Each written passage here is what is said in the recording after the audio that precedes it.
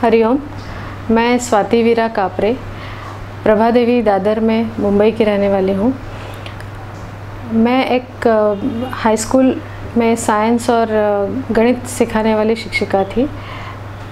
लेकिन अभी मैंने वो जॉब छोड़कर ट्रांसलेशन की मैं सेवा करती हूँ, अपनी इसी संस्था में। मैं बापू परिवार में सन 2000 साल में आई। जब हम बापू परिवार में आए तब हम थोड़े अ, मेरी एक बहुत भयंकर बीमारी थी। इसके कारण हम बहुत परेशान थे। उसके पहले ये हुआ था कि उन्नीस दिसंबर में जब मैं सात महीने की प्रेग्नेंट थी उस समय अ, मुझे पेट में बहुत दर्द होता था और समझ नहीं पा रहे थे इसका कारण क्या है।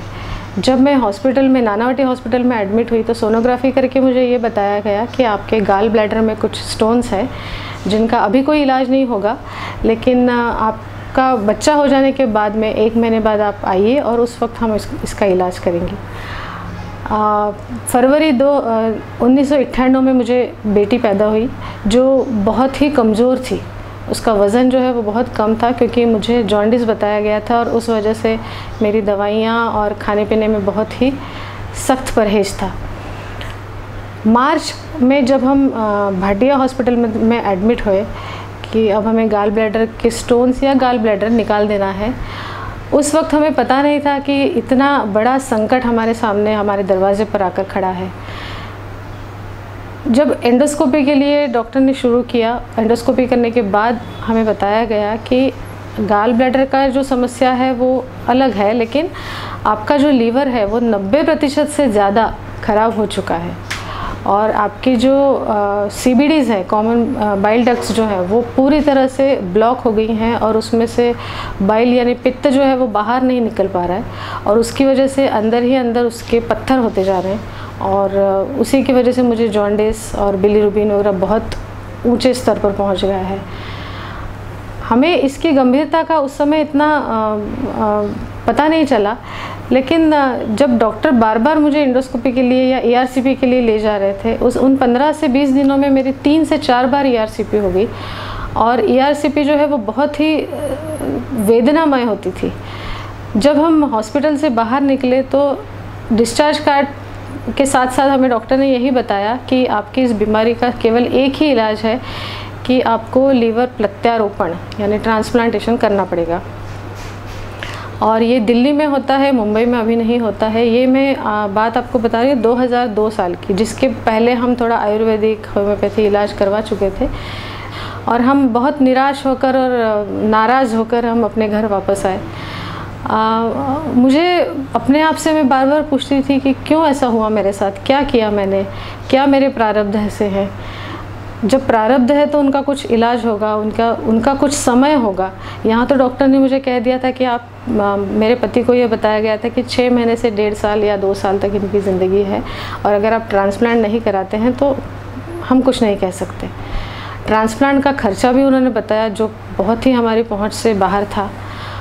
जब हम घर आए तो इतने उदास, निराश ऐसे थे कि बच्ची को देखकर मैं कभी कभी खुश होती थी, लेकिन तुरंत उदास भी हो जाती थी कि मैं इसके साथ कितना समय गुजार पाऊँगी, कितने साल गुजारूँगी और मैंने धीरे धीरे अपनी बच्ची को भी लेना कम कर दिया था। ऐसा लगता था कि उसे मेरी आदत ना लगे। हम अपना होम्योपैथी और आयुर्वेदिक इलाज धीरे धीरे शुरू किए। एलोपैथी के डॉक्टर ने एक दवाई दी थी यूडीसी, जिससे सिर्फ़ खून और बाइल पतला होने में मदद मिले और उसके पत्थर ना बने। लेकिन उसके साइड इफ़ेक्ट्स भी धीरे धीरे दिखने लग गए थे, क्योंकि मुझे जरा भी कहीं छोटी सी भी चोट लगती थी तो खून इस तरह बहता था कि उसका एक तालाब जैसा बन जाता था। रात के समय मुझे दिखाई देना बंद हो गया, लगभग बंद हो गया, कम होते होते धीरे धीरे इतना बंद हो गया था कि मुझे ऐसे जो सफ़ेद ट्यूबलाइट्स है वो मुझे फ्लोरोसन ग्रीन या येलो या धीरे धीरे वो भी कम शुरू हो गई कभी कभी कितनी बार मैं किसी का सहारा लेती, हर बार मुझे दीवार पकड़ कर चलना पड़ता था और कभी कभी उस दौरान मैं गिर जाती और अगर उस गिरने में कहीं चोट लग गई तो खून की धाराएँ बहने लगती थी। हम धीरे धीरे निराश होने लगे थे कि अब क्या किया जाए। क्या इलाज किया जाए इसका? आ, मेरे ससुराल के परिवार में और मेरे परिवार में भी हम इंदौर के रहने वाले हैं। अतः हम इंदौर में एक दत्त संप्रदाय के जो ज्येष्ठ संत हैं संत नाना महाराज तराणेकर उनके अनुग्रही हैं। तो मैं वहाँ भी गई और मेरे पति और हमारा परिवार वहाँ गया। वहाँ भी उन्होंने बताया कि आप धीरज रखिए कुछ ना कुछ आपको इसका उपाय ज़रूर मिलेगा।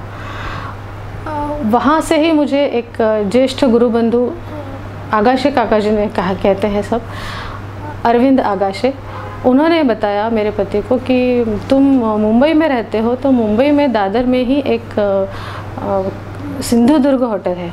वहाँ कहीं डॉक्टर अनिरुद्ध जोशी हैं। तो मुझे ऐसा लगता है कि तुम उनके पास जाओ और तुम्हारी इस बीमारी का, तुम्हारी इस समस्या का निदान उनके पास ज़रूर होगा। तब हम गोरेगांव में रहते थे तो हम अपना इलाज करते रहे। बोरी बोरीवली में आ, मेरे पति की एक बहन है डॉक्टर संध्या पंडित। उनके पास हम गए और वहाँ उन्होंने हमें हमने उनको बताया कि हमें ऐसा पता लगा है लेकिन हम उनको ढूंढ नहीं पाए। डॉक्टर अनिरुद्ध जोशी कहाँ पर है हमें ढूंढ नहीं पाए। तो उसने कहा कि मैं जानती हूँ मैं तुम्हें एक पता देती हूँ एक फ़ोन नंबर देती हूँ तुम वहाँ उनसे बात करो। मेरी एक मौसेरी बहन है जो उस समय बापू परिवार में ही थी तो आप उनसे बात कीजिए। उन्होंने हमें जो नंबर दिया वो था सुषमा वीरा सरनाइक का। सुषमा वीरा सरनाइक को मेरे पति ने जब फ़ोन किया तो उन्होंने हमें गोरेगांव में उनके भाई के घर पर बुलाया, जहाँ पे उस दिन पादुका पूजन था। मेरे पति वहाँ गए और वहाँ पे जब उन्होंने अपना ये सारा बताया उन्हें तो सुषमा वीरा और संतोष सामंत, इन्होंने हमें दत्त क्लिनिक कहाँ पर है इसका अच्छे से पूरा पता दिया है और उस, उसी वक्त हमें बताया कि आप वहाँ पे जाइए और डॉक्टर सुचित वैद्य वहाँ पे है, सुचित दादा जिनको कहते हैं, उनसे आप मिलिए। मैं और मेरे पति हम दोनों अपने पूरे रिपोर्ट्स लेकर वहाँ गए। सुचित दादा के पास जाते ही सबसे पहला प्रश्न उन्होंने पूछा कि आप यहाँ कैसे आए, आपको किसने बताया है? तो मेरे पति ने उन्हें सब बताया कि अरविंद आगाशे जिन्हें हम आगाशे काका कहते हैं, इंदौर से नाना महाराज परिवार से उन्होंने हमें बताया और नाना महाराज का हमने अनुग्रह लिया हुआ है। तो ऐसा हमारे मन में बोलते से ही उन्होंने तुरंत पहला वाक्य सुचित दादा का था, कोई बात नहीं, सदगुरु तत्व यह सब एक ही है। यह सुनते से ही हमें इतनी शांति मिली। इतने शांति से उन्होंने ये सब बताया हमें और ये भी कहा कि आपके रिपोर्ट्स आप यहाँ रखिए, हमें बापू को आपके रिपोर्ट्स दिखाता हूँ। और उन्होंने हमें एक अगला शुक्रवार या ऐसा एक दिन बताया कि आप उस दिन फिर से आइए। अगले शुक्रवार फिर गए तो दादा ने बताया कि आपके रिपोर्ट्स सब देखे हैं बापू ने और आप यही बताया है कि आपको दो तीन महीने आपको थोड़ा रुकना पड़ेगा, शायद ज़्यादा समय भी रुकना पड़े। लेकिन आप यहाँ एक बार आए हैं, अभी आपको चिंता करने की ज़रूरत नहीं है।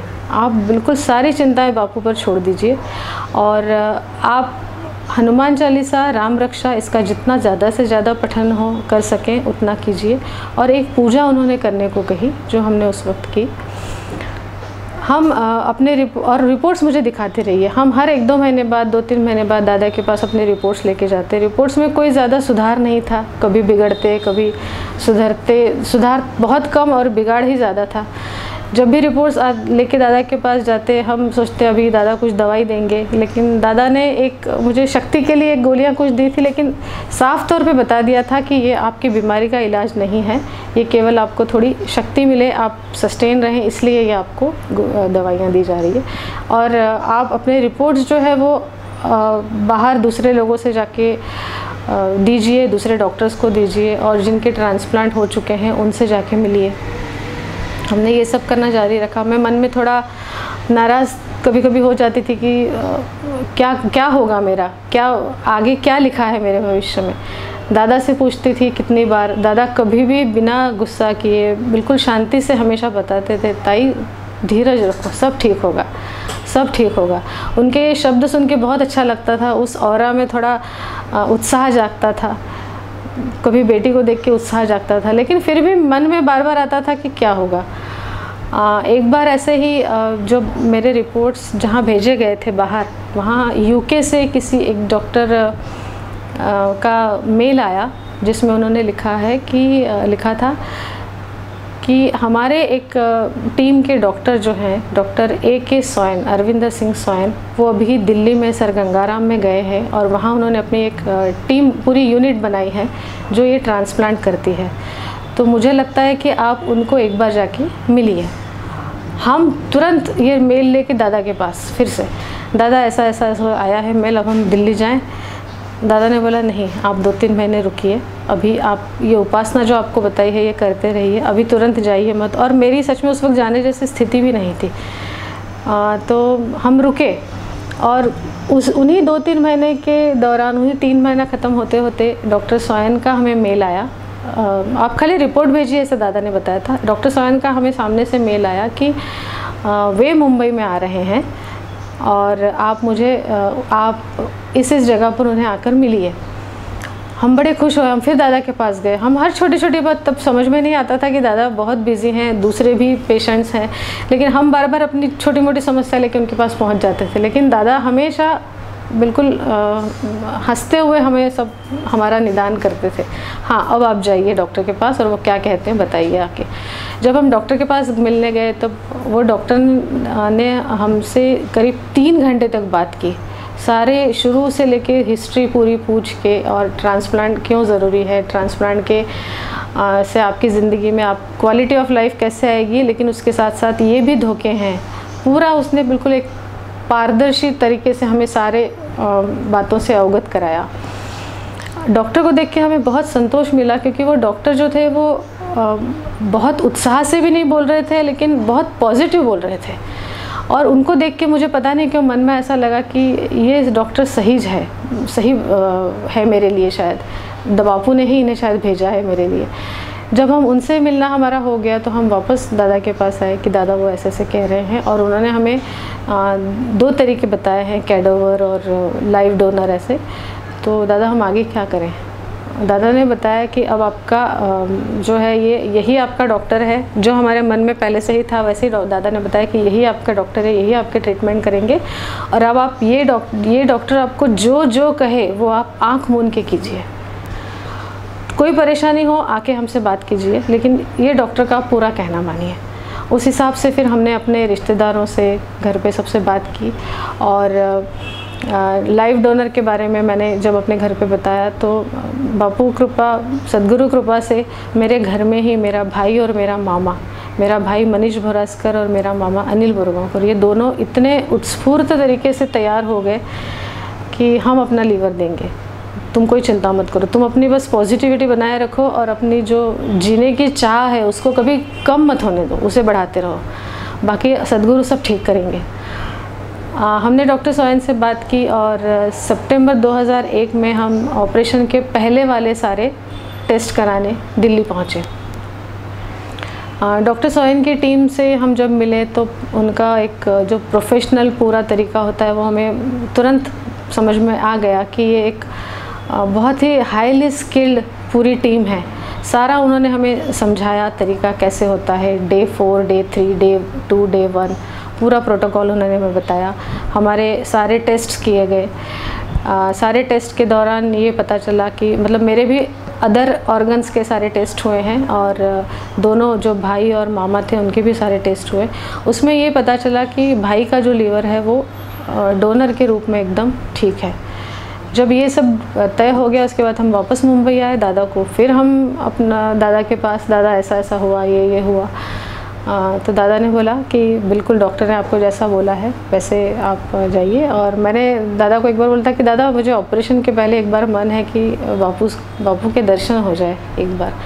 तो दादा ने बोला था ठीक है मैं आपको एक दिन बताऊँगा उस दिन आप आइए। तो वैसे दादा ने हमें एक दिन बुलाया। मैं अपने बच्चों को लेकर दादा के वहाँ गई। फिर दादा ने हमें बापू के केबिन में भेजा। और मेरे मन में था, मैं क्या बोलूँगी? बापू से, लेकिन बापू सब जानते हैं मन की अवस्था। बापू ने जान भी लिया होगा। मेरे मुँह से निकला, दादा बापू मेरी तो बीमारी है, लेकिन मैं चाहती हूँ कि मेरे भाई का बाल भी बांका ना हो, उसे कुछ ना हो। बापू ने मेरी ओर देखा और कहा, तुम दोनों छः महीने के अंदर बिल्कुल उनके मराठी शब्द ऐसे थे कि खड़खड़ित बरे भाल। पूरी तरह से तुम ठीक हो जाओगे, स्वस्थ हो जाओगे। ये सुनते ही मेरी जो भी रही चिंताएँ, जो भी थोड़ी बहुत बची थी, वो भी पूरी तरह से दूर हो गई और हम एकदम पूरी तरह से पॉजिटिव होकर हम ऑपरेशन के लिए तैयार हो गए। अब ऑपरेशन के लिए जो खर्च था वो भी काफ़ी था। हमारे हिसाब से उस वक्त बहुत ज़्यादा था। करीब 25 लाख के आसपास खर्च था। और चिंता ये भी थी कि ये खर्च जो है मेरे पति जिस रिज़र्व बैंक में काम करते हैं, ये होगा या नहीं होगा? क्योंकि अभी तक जो थे, हमने हिस्ट्री में देखा था, पाँच से छः लाख तक का जो है वो खर्च बैंक की तरफ़ से रियम्बर्समेंट होता है। तो मेरे इस केस में गवर्नर लेवल या डीजी लेवल तक की उनकी मीटिंग हुई, जिसमें यह तय होना था कि ऑपरेशन का खर्चा रियम्बर्समेंट होगा या नहीं। चिंता ऐसी नहीं थी, लेकिन थोड़ा उत्कंठा थी कि क्या आज डिसीज़न होगा। और उस दिन मुझे ऐसा अनुभव आया कि बापू हमारे आसपास कहीं है। और शाम को, उस वक्त मोबाइल फ़ोन नहीं थे, शाम को मेरे पति का, हम फ़ोन के पास ही बैठे थे कि कब फ़ोन की घंटी बजे, कब फ़ोन आए और शाम को सबसे आखिर में जाके पौने सात सात बजे मेरे पति का फ़ोन आया कि बैंक की तरफ़ से जो है ये रियम्बर्समेंट का मंजूर हो गया है। इतनी खुशी हुई, मुझे समझ में नहीं आया कि कैसे 25 लाख और ये सच में ये इतिहास है ये। एक तरह से ये मेरी पहली केस है कि जहाँ जहाँ जब सदगुरु आपके साथ हो तो कितनी ही असंभव सी लगने वाली चीज़ें हैं वो अपने आप सरल हो जाती हैं। और ऐसा ही हुआ हम अब निश्चिंत मन से हम ऑपरेशन के लिए जाने के लिए तैयारी करने लगे। आ, मेरा भाई जो है उस वक्त इंदौर में था वो दिल्ली पहुँचा। हम यहाँ से इकतीस दिसंबर मुझे याद है। सब तरफ़ लाइटिंग और पार्टियाँ और ऐसे चल रही थी और हम दिल्ली की तरफ़ हम जा रहे थे। दिल्ली में पहुँचे, वहाँ पे भी बहुत सब जगह उत्साह था, लेकिन मेरा मन में था कि मुझे बस अब कल हॉस्पिटल में एडमिट होना है। एक कभी कभी ख्याल आता था क्या होगा, फिर लगता था नहीं, मैं यहाँ जो आई हूँ, ये मेरे सदगुरु के आशीर्वाद से आई हूँ, मेरे परिवार के लोगों का, मेरे सारे बड़े लोगों का आशीर्वाद है और अब मुझे यहाँ से ठीक होकर ही जाना है। मुझे अब ये बीमारी, बीमार नहीं रहना है। मैं एक तारीख को, एक जनवरी, जो नया दिन था साल का, उसी दिन मैं गंगाराम हॉस्पिटल में एडमिट हुई। सारे उनके प्रोटोकॉल के अनुसार सारे पूरे हुए और पाँच तारीख को मनीष को ऑपरेशन थिएटर में ले जाया गया और छः तारीख को मुझे ऑपरेशन थिएटर में ले जाया गया। ऑपरेशन थिएटर में जाते वक्त मैं यही सोच रही थी कि मनीष का भी ऑपरेशन बहुत अच्छा होगा, मेरा भी होगा और मेरी अभी तक की सारी जो परेशानियाँ हैं, दुख हैं, जो चिंताएँ हैं, जो मुझे ये खुजलियाँ होती है बार बार मेरा जो ख़राब हो चुका लीवर है, वो निकाल के डॉक्टर वहाँ पे जो अच्छा लगाने वाले हैं आधा लीवर, वो मेरे शरीर में अच्छे से अपने आप को एडजस्ट करेगा और मैं फिर से मैं पहले जैसी थी, चार साल पहले वैसी मैं फिर से हो जाऊँगी, यही सोच के। और सदगुरु डॉक्टर के हाथों में वो शक्ति दे रहे हैं और वो मेरा ऑपरेशन कर रहे हैं। बस यही मैं एक सोच के और मैंने अपनी उदी लगाई संस्थे की और ऑपरेशन थिएटर में गई। डॉक्टर सोयन और उनकी टीम तैयार थे, मुझसे थोड़ा सा हँसी मज़ाक में उन्होंने बातें भी किया और फिर धीरे धीरे मैं बेहोश हो गई। बाद में मुझे कुछ याद नहीं। जब मुझे ऑपरेशन के बाद लगभग तीसरे दिन, ये ऑपरेशन ऑलमोस्ट 36 घंटे तक चला था।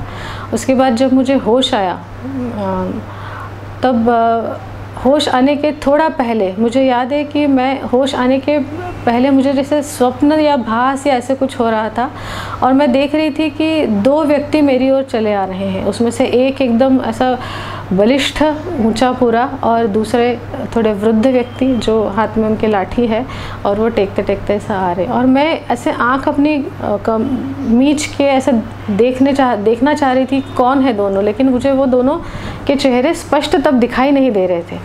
जैसे जैसे वो पास आए, तब जब उनके चेहरे स्पष्ट हुए तो मुझे ध्यान में आया कि उसमें से दाई तरफ़ जो है वो बापू है और उन्होंने नाना का हाथ पकड़ रखा है और नाना महाराज और बापू दोनों मेरी तरफ़ आ रहे हैं और बापू मेरी तरफ़ देख के मुस्करा रहे हैं। और मुझे वही याद है जब मुझे सबसे पहली बार साई निवास में जब बापू का दर्शन हुआ था जब उस उस वक्त मैं बहुत निराश थी और बापू का दर्शन जब मैंने किया, तब बापू मेरी तरफ़ जो देखा उन्होंने तीन से चार सेकंड, उस वक्त उनके आँखों में जो भाव था, जो एक माँ के आँखों में होता है, एक वात्सल्य मूर्ति के आँख में होता है, वो भाव मुझे तब जो दिखा था जिसके पहले मैं केवल दया वाली नज़रें देखती थी कि अरे ये इनके साथ क्या हो गया, ये कैसी थी, कैसी हो गई। उस नज़रों के बाद जब मैंने बापू की आँखों में जो वो भाव देखे थे, वही मुझे उस ऑपरेशन के बाद होश में आने के पहले दिखे।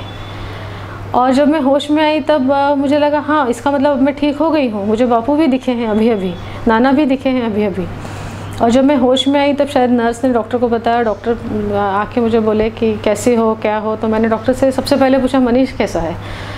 तो डॉक्टर ने कहा कि वो भी एकदम ठीक है। आप कैसे, आपको क्या हो रहा है? कुछ तो मैंने डॉक्टर को पूछा, मेरा ऑपरेशन हो गया, सब कुछ ठीक हो गया? तो डॉक्टर ने कहा कि हाँ आपका ऑपरेशन एकदम ठीक हो गया और एकदम हंड्रेड परसेंट सक्सेसफुल हो गया। आप कॉन्ग्रेचुलेशंस तो मुझे समझ में रहा था ये कॉन्ग्रेचुलेशंस मुझे क्यों है? क्योंकि इसका, मैं तो सिर्फ़ वहाँ एक लेटी रहती थी, बाकी सब मेरे करने वाले तो सब मुंबई में हैं डॉक्टर है, मेरा भाई है या मेरे सदगुरु हैं। पर मैंने फिर भी डॉक्टर को बोला थैंक यू डॉक्टर मैंने शायद वो थैंक यू सिर्फ़ डॉक्टर को नहीं, इन सबको बोला है मन में। धीरे धीरे जब हम आईसीयू में ही हम थे, हम एक दूसरे से मिल नहीं पाते थे मनीष और मैं। डॉक्टर ने मना किया था, अभी नहीं मिल पाओगे। पर हम फ़ोन पे वहाँ इंटरकॉम से बात करते थे। और बहुत वो भी खुश था, मैं भी खुश थी। वहाँ से हम सीधे अपने बैंक के एक दिल्ली में सरोजनी नगर में फ़्लैट में आए। और एक बात यहाँ मैं बताना चाहूँगी जो मैं भूल गई कि ऑपरेशन के पहले जब डॉक्टर ने हमें बताया था कि आपको लगभग 40 यूनिट से ज़्यादा प्लेटलेट्स प्लाज्मा और ब्लड की ज़रूरत होगी। तब हम मुंबई से तो हम ज़्यादा लेके जाने का सवाल नहीं था लोगों को। पर वहाँ पे मेरे पति ने अपने बैंक में एक नोटिस लगा दिया था कि ऐसा ऐसा ऑपरेशन है और ऐसे ऐसे खून की प्लेटलेट्स प्लाज्मा की ज़रूरत है। तो हमें आश्चर्य हुआ कि एक तारीख से ही लोगों की वहाँ लाइन लगना शुरू हो गई थी ब्लड देने के लिए। और वो प्रोसीजर भी उस वक्त जो ब्लड देने वाले थे, जो नॉर्मल ब्लड डोनेशन कर कर चुके थे काफ़ी बार, लेकिन उनके लिए ये नहीं थी, क्योंकि वो प्लेटलेट्स और प्लाज्मा दोनों निकाल के फिर वो अलग अलग तरीके से दोनों हाथों में से, एक में से ब्लड लिया जा रहा है और वो प्लेटलेट्स प्लाज्मा अलग होकर दूसरे से ब्लड वापस शरीर में जा रहा है। ये प्रक्रिया उनके लिए नहीं थी। एक दो लोगों को उसमें चक्कर भी आए, हमने सुना। लेकिन लोगों का आना रुका नहीं। लोग आते थे ब्लड दे के चले जाते थे। और उसमें से कुछ कुछ लोग तो ऐसे भी थे जिनको मेरे पति भी नहीं जानते थे। और वो हाँ, मेरे पति जब उनसे कुछ कहते थे कि थैंक्स या ऐसा कुछ तो वो कहते थे आप हमें थैंक्स मत बोलिए। वहाँ इतना अच्छा काम हो रहा है हम चाहते हैं उसमें हमारा भी कुछ सहयोग हो। तो ऐसे उन लोगों को मैंने ना कभी पहले देखा ऑपरेशन के ना कभी बाद में आते वो जैसे एक फरिश्ते जैसे होते हैं कि वो आए अपना काम किए और चले गए। और ऐसे फरिश्तों को लाने वाले कौन थे? जिन लोगों को हम कभी नहीं जानते थे, कभी हमने उनसे मिला नहीं था, कभी बातचीत नहीं की थी, ऐसे लोग आके हमारे लिए इतना बड़ा काम करके गए हैं। ये सब करने वाला जो है वो मुझे नाम लेने की ज़रूरत नहीं है। तो ये ऑपरेशन के बाद जब हम घर आए, उसके बाद दो कमरों में मैं और मनीष ऐसा रहे। इन्फेक्शन ना हो इसलिए बहुत ज़्यादा हाइजीन हमें पालना पड़ता था। जो हमारे रिश्तेदार मेरे पति की बहन मेरे मामा मामी सब लोग ऐसे जो आए थे आ, वो लोग हमारे लिए खाना बनाते थे सुबह शाम क्योंकि डॉक्टर ने कहा था कि खाना बनाने वाला भी ऐसा कोई घर का व्यक्ति हो नाखून कटे हों बाल नहीं गिरे तो बाल पे रुमाल बांधना है खाना खाने बनाने से पहले हाथ धोना है साबुन से और स्टरलाइज करना है सब कुछ। आपके जो सारे जो भी चीज़ें आप छुएँगे कोई ऐसा आपको चांस लेना नहीं है कि जिससे आपको इन्फेक्शन हो। तो आपको सारी चीज़ें आपकी कमरे में जहाँ भी आप ज़रूरत से ज़्यादा कुछ रखना ही नहीं है।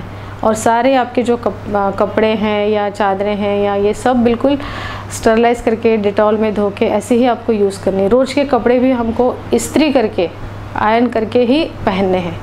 उसके बिना नहीं पहनने हैं। धूप में सुखा के आयन करके। तो इतनी उन लोगों ने हमें हमारी केयर ली है रिश्तेदारों ने या हमारे जो मित्र परिवार थे उन्होंने। और मैं वहाँ के आईने में अपने आप को देखती थी।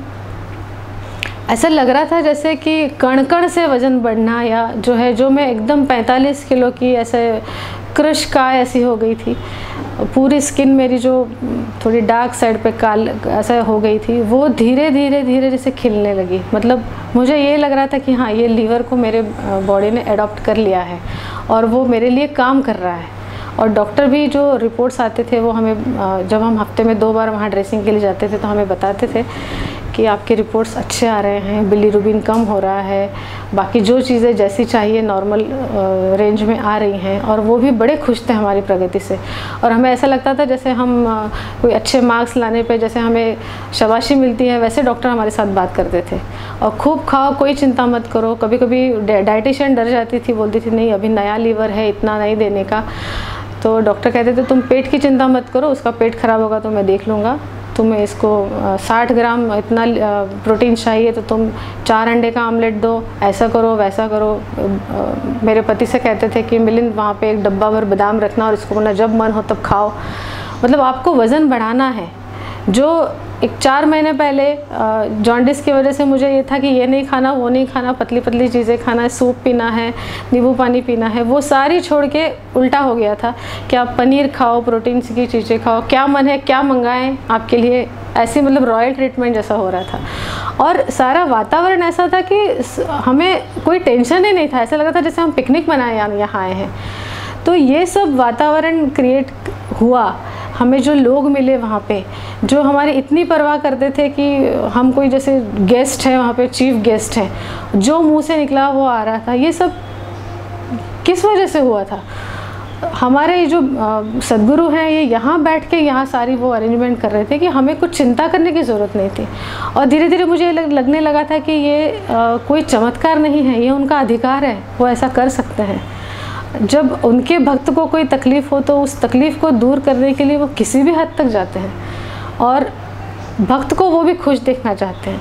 तो मुझे ये भावना ही मन में बार बार आ रही थी और ऐसा लग रहा था कि बस मेरे पास बापू हैं, अभी मेरा कोई कुछ नहीं बिगाड़ सकता।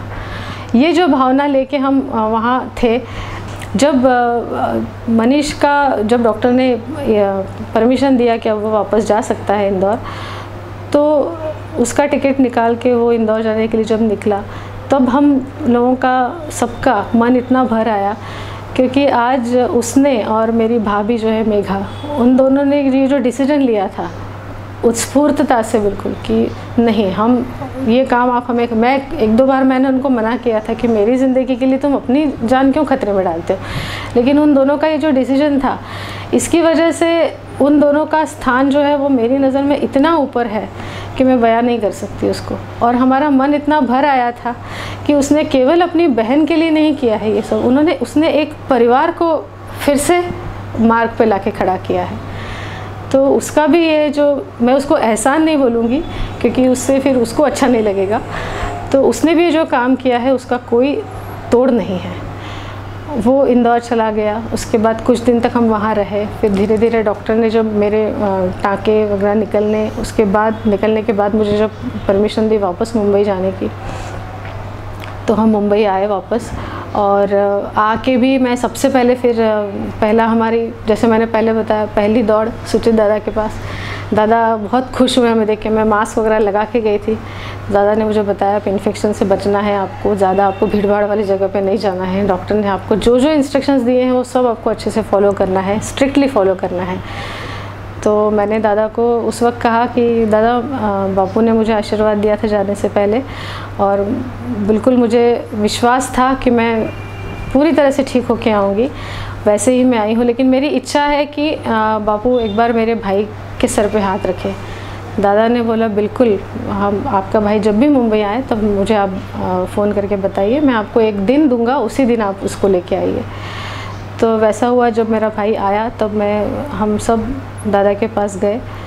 दादा ने हमें बापू के पास भेजा और बापू के पास जाते से ही हम सभी की आँखों में आँसू आ गए।